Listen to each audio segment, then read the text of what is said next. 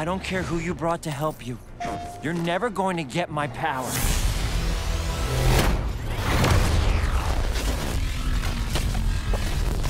Do I look like I need your power?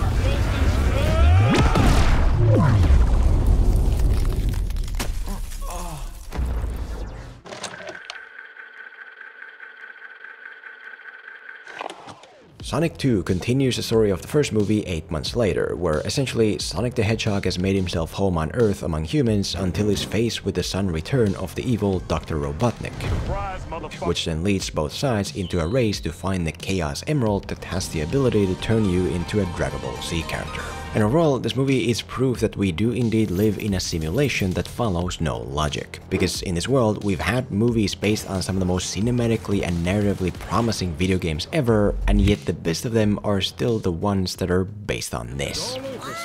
Did Tails just kill himself? And as much as these Sonic movies piss me off due to my jealousy over Sonic fans getting this and me getting this, I still can't help but applaud the filmmakers for what they've managed to do with this property, because there's a lot of great stuff here across the board, from very enjoyable character dynamics to some of the greatest casting of all time, to this movie in general being two hours worth of pleasurable entertainment to distract you from everything else.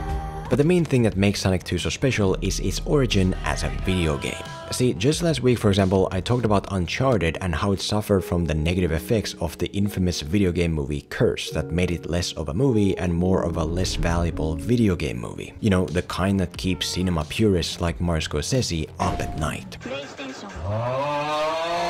And now here I am watching Sonic 2, only to see that every one of those negative video game movie aspects that affected Uncharted is handled masterfully. The characters and their relationships, the action-packed sequences, the emotional side of things, all of it. You don't need to be a fan of the games to enjoy this movie, and the movie also doesn't just give you less of what you'd get from the games. Hollywood keeps saying it's not possible to escape the video game movie stigma or make my favorite games work as movies, but Sonic keeps proving otherwise. That's simply not possible. Why isn't it possible? It's just not. Why not, you stupid bastard? And so today, let's investigate Sonic 2 through the same video game related aspects as Uncharted and see how it makes them work like a proper movie without the stigma. We've talked about this before, but here's more. Here's a few key ways of how to break the video game movie curse.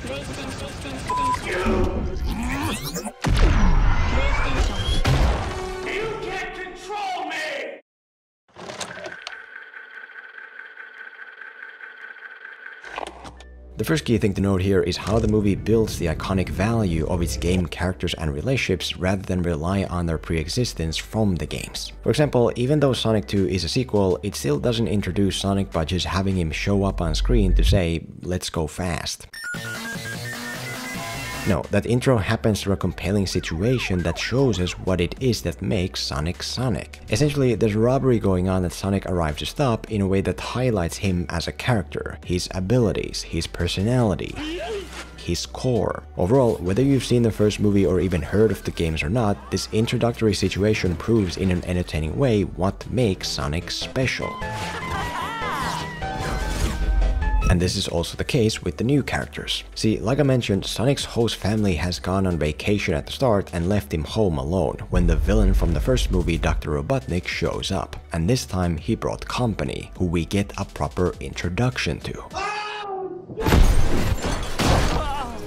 Sonic, meet Knuckles. Do you know the way? Right, so immediately we get a strong sense of what makes Knuckles Knuckles. His physical stature as a brawler, his rock-like personality, his power dynamics with Sonic. I mean, we even get a sense of the inner motive that drives him. what my ancestors could not to restore the ultimate power to the home of my people.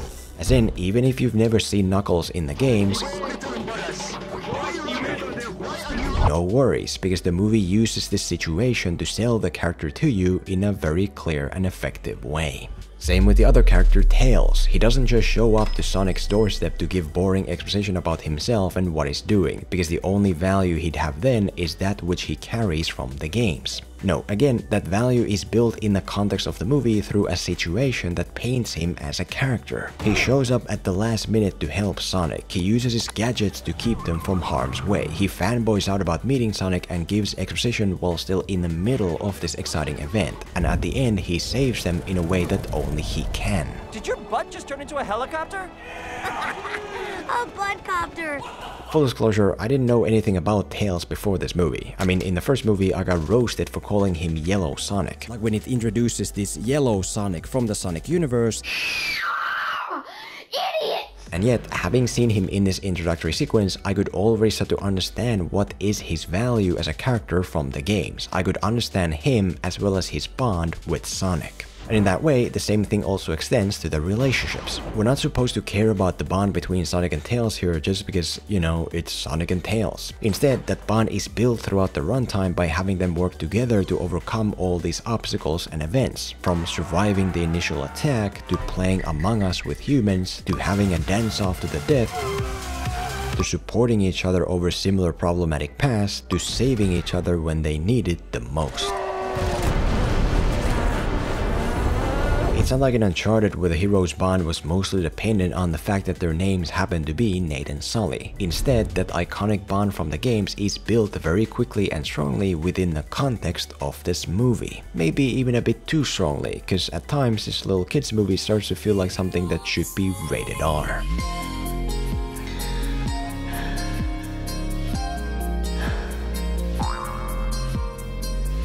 I mean, as sad as this is to say, this movie builds a stronger bond between the two villains than Uncharted did between the two main heroes. Robotnik and Knuckles are amazing together, because they do all these things side by side, because their strengths patch each other's weaknesses, because their contrasting personalities overall are showcased in such an entertaining way that it's like they were always meant to be. Tiny Magic Hedgehog destroyed. Is, you cannot rely on the pre-existing value of your game characters and their relationships because most traditional moviegoers will not have a perception of it. Instead, identify what it is that makes those characters and their relationships so iconic and special, and then build that iconic specialty through events and situations to prove it.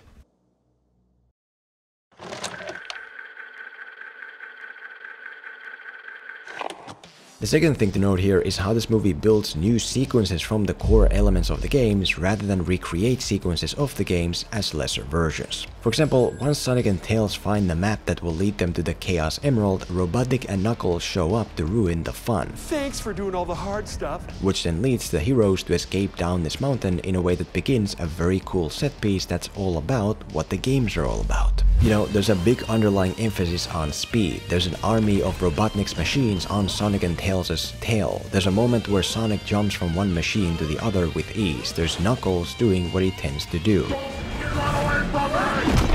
And then finally we use Sonic's rings to escape the danger at the last second.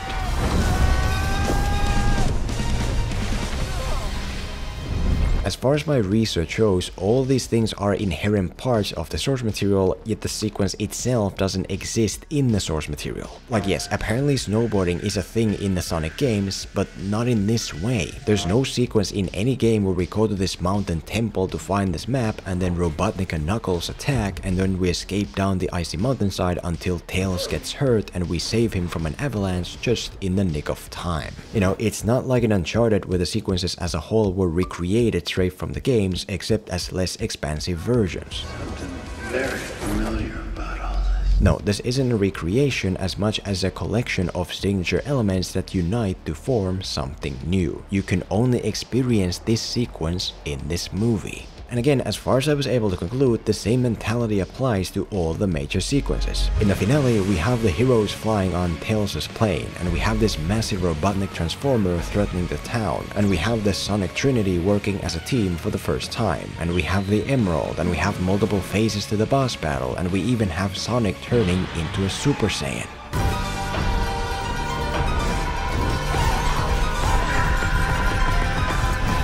I assume that all these things are key elements from the games, yet the sequence as a whole is not. Same with the robbery sequence at the beginning, same with the temple sequence where Robotnik and Knuckles work together to pass all these traps and where Robotnik then pins Knuckles against Sonic until his betrayal is complete and they then have to save each other from drowning. If you're a fan, you're getting something new with the stuff you love without already having seen it. If you're not a fan, you're getting a Sonic experience but in a way that you can't already find in a YouTube walkthrough. By the way, the price of admission is justified, unlike in Uncharted where the sequences in the first two thirds already exist as more expensive versions for free. Very familiar about And the reason it is so important to build your set pieces and sequences from these signature game elements is because otherwise, what's the point? For example, there's a section where Sonic and Tails get captured by the humans and then the side characters have to break them out, which at face value has no signature specialty and could exist in any other movie, except that they're using Tails' gadgets to get past all these guards. So even in the most mundane ordinary sequence, there are still elements of that signature Sonic specialty mixed in, which is very crucial. Because if that signature specialty is not there, if you make a Bioshock movie where the sequences are so ordinary that they could exist in any other movie, then why are you making a Bioshock movie in the first place? You can't just leech off the value of a franchise without utilizing what it is that makes the franchise valuable. And by the way, if you do that with Bioshock Netflix, I will find you.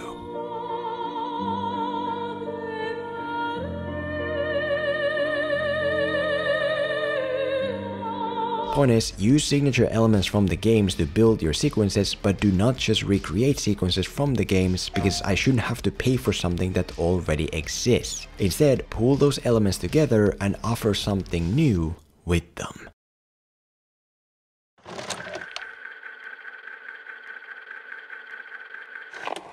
The third key thing here is that even though this is a fun video game movie for little kids, it still isn't only that, but also dares to be emotionally resonant. The first side of Uncharted's issue with this was that a lot of stuff was way too easy and without consequences. Yeah, we should go your way. We should go your way. Whereas here, the journey is full of challenge that takes a toll. Sonic loses to the bad guys right away and only survives because of last minute help.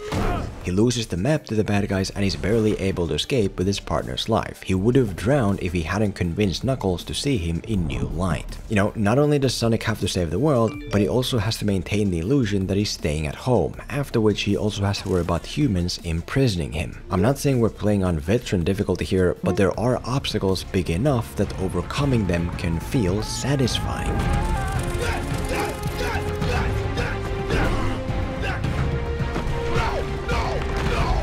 And there are ramifications to them as well. When Tails gets injured at the mountain, he doesn't just immediately get back up. No, we have to save him just in time and then he stays injured for the next 20 minutes. When Sonic's lie about staying home as promised is exposed, it's not just okay. No, that broken promise leads to him and his friends getting captured. When Robotnik gets the emerald, it's not like, well, now he just has the treasure. No, he can use it to build this transformer and destroy Sonic's town. Overall, just because this movie is about an unreal hedgehog doesn't mean his journey can't have real life repercussions to make it feel real. But the most important side of this is that in general, the movie isn't afraid of negative emotion like Uncharted. If you look at the motivations behind the main journey, for example, you can find real resonating issues on both sides. With Knuckles, we gradually learn that he was a part of this tribe that was wiped out in a war for the Emerald. He said my moment to honor our tribe would come.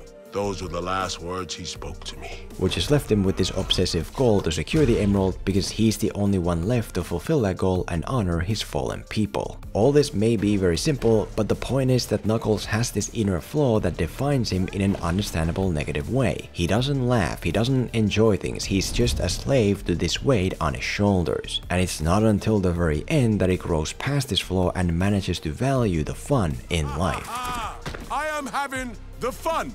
What is ice cream? a journey which we can feel and relate to. Whereas with Sonic, it's the mirror image of this. He was raised by this protector of the emerald who gave her life for him. Goodbye, Sonic. And so now he's not only out to save the world, but to also make her proud. I'm not saying there wasn't more you could have done with that, but I am saying that Sonic is scarred and flawed over this stuff enough that it still visibly affects his everyday life. As baffling as it sounds, we can perceive more emotion in this blue hedgehog missing this owl than we can in Nathan Drake missing his brother. Point is, you need negativity to emotionally ground your movie. I understand the notion that video game movies are for younger audiences and thus should be fun. Like, why waste time on preachy moments like this? And right now, whether you want to hear this or not, you are still just a kid. Oh my god. You got some more growing up to do before you're ready to be the big hero.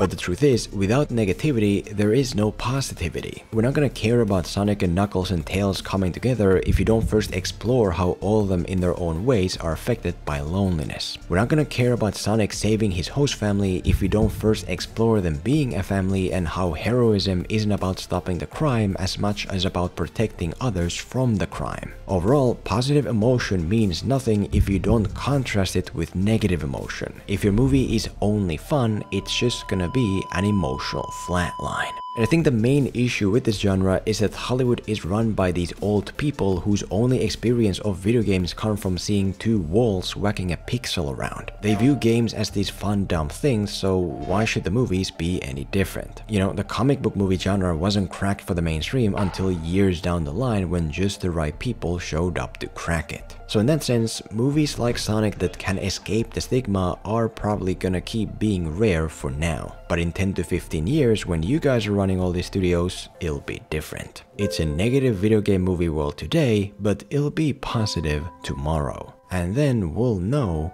to value it.